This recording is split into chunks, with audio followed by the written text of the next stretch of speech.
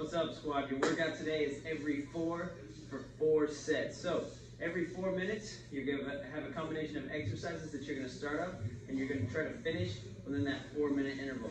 Starting off, you have a two minute run, okay? Or one minute of cardio if it's raining outside, something like that. If it's not raining, I want you to head outside 200 meters. You're gonna go out 30 seconds all the way down, 30 seconds bringing it all the way back. So about one minute of cardio into 20 shoulder taps.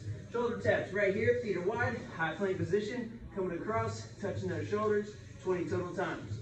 Once you're done with 20, you have 10 right and 10 left, single leg deadlifts. You have plenty of time, so select a weight that you can do deadlifts and curls together, okay? So what I want you to do with that single leg deadlift, focus on a point directly in front of you that's not moving. As you hinge over, that back leg is gonna come straight up.